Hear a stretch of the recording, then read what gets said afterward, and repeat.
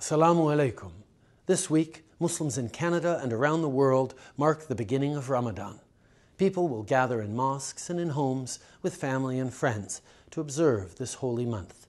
Everywhere it's celebrated, Ramadan reminds us to appreciate our many blessings, give back to our communities, and put the needs of others before our own.